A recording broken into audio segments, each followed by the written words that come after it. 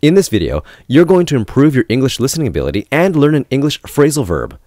In this video, you'll learn the meaning of the phrasal verb and you'll see an example sentence using the English phrasal verb.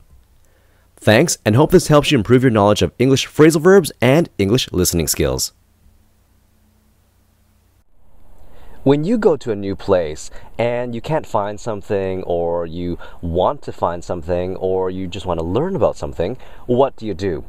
Well, for some people, they just don't do anything. They just try to find out on their own. For other people, like myself, I like to ask around. I like to ask a lot of people for information. I'm not shy about asking people for help. So that's what I did when I went to Europe is I went and I asked around to different people whenever I was lost or whenever I wanted to find something, for example, a store or a building or whatever, I would just go and ask around. So that is the phrasal verb that I wanted to teach you. Ask around. It means, as I said, to ask a lot of people something, all right? To go around and ask a lot of people. It doesn't mean go around in a circle, ask around in a circle. It actually means to go and ask a lot of people. So there you go. A really quick example and usage of the phrasal verb ask around. Thanks again for watching this video.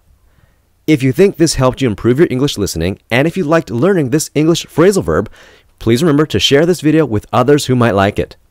For the script, dictation practice, and additional examples using this English phrasal verb, please visit my website at carlkwan.com forward slash blog to find out how to become a premium member of my website and to get a free video about the biggest mistake in speaking English. Thanks again.